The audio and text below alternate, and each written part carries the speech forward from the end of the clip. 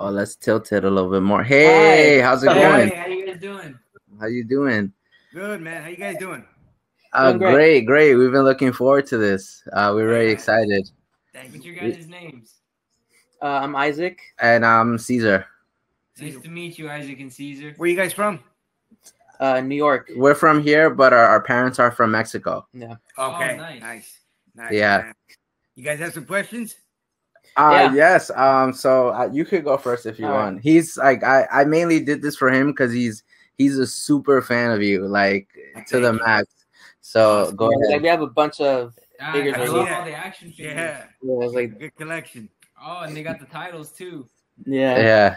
Oh yeah. All right. Um, I guess I'll go with my first question.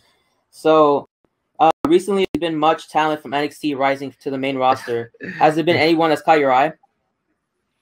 I, I I'm really waiting for Escobar to jump over.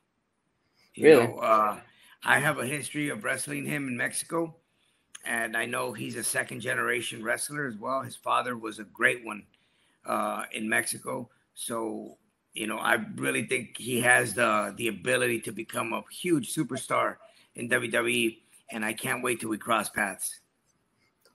That's awesome. So actually to transition from his question with there being so many uh like Mexican talent um in the in just all three brands across the board, I was really curious has it ever caught your eye or your attention to ever start a stable like sort of how like in the WCW days you had the LWO, now that you also have Dominik and there's Escobar um uh, uh, Garza. uh Garza, uh Carrillo.